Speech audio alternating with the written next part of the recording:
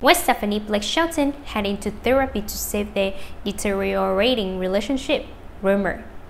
Gwen Stefani and Blake Shelton are allegedly struggling to keep their relationship afloat.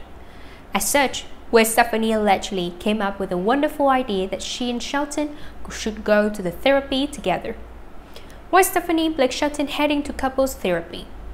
According to National Enquirer, the couple is committed to doing whatever it takes to be together for the rest of their lives. They're committed to staying together and love each other dearly, but when once their issues fixed instead of letting stuff fester. Blake's old-fashioned and he's not comfortable talking about personal stuff of to a total stranger, but she's putting hard to get them professional help, say. No baby or wedding for Blake Shelton and Gwen Stefani. The outsider also claimed that Stefani and Shelton have put their plans on hold because they want to focus on fixing the issues first. Gwen is also holding off on a baby.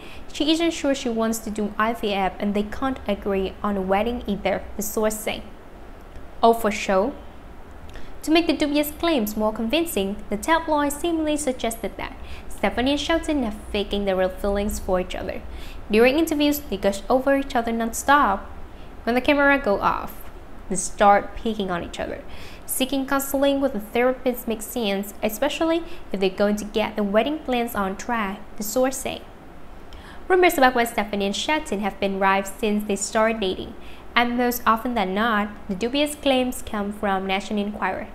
There was a claim that when the tabloid claims that the couple secretly tied the knot last year, when it Blake excitable and impulsive and ready to pull the trigger, the source say. Insider also claimed that Stefani and Gavin Rossdale's three kids were the ones that encouraged her and Shelton to say I do. They begged their mom to make him the official daddy. The dream will come soon with a backyard wedding and they will play the major roles in it, the source say. Rumors depend. However, the tabloid's headline claimed that Stefani and Shelton have tied the knot, but the article is about the couple potentially tying the knot. This shows that the claims are misleading and should therefore be taken with a grain of salt.